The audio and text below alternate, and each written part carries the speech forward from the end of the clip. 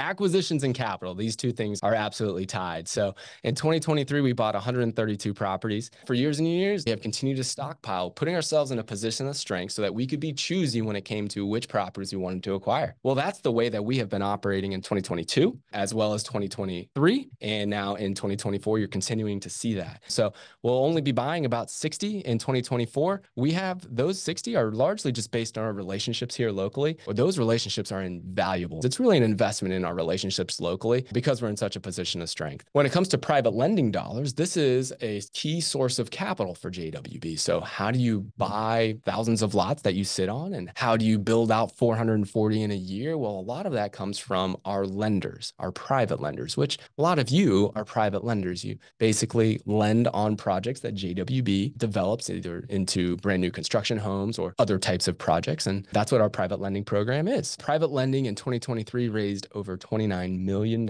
So again, another thing that we don't shed a lot of light on here. Oh, by the way, our private lending team just raised just about 30 million bucks in a year. Big shout out to the team there. And then in 2024, we'll be raising 24 million. That's our goal. And the only reason that number comes down is because you can see the properties purchased will come down. If you purchase less properties, then you need less capital to be raised from private lending. Sounds good, man.